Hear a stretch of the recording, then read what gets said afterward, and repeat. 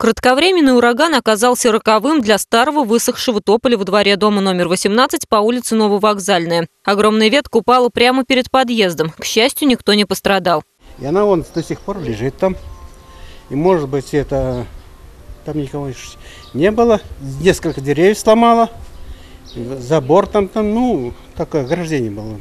Деревья и кустарники в микрорайоне Знаменский уже давно живут своей жизнью, говорят местные жители. Из благородных зеленых насаждений они превратились в дикую растительность. Вот оно растет, дерево, лохматое, рогатое, всякое разное. Никто за ним не следит. Обрезать нам самим не дают и сами ничего не делают.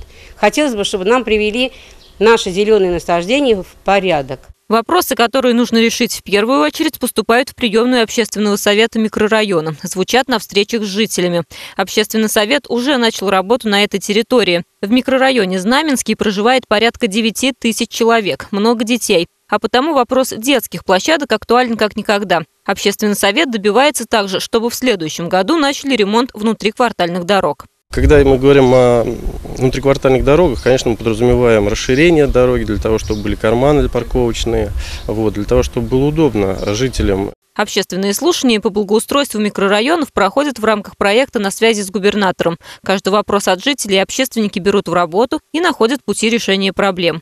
Марина Матвеевна, Константин Головин. События.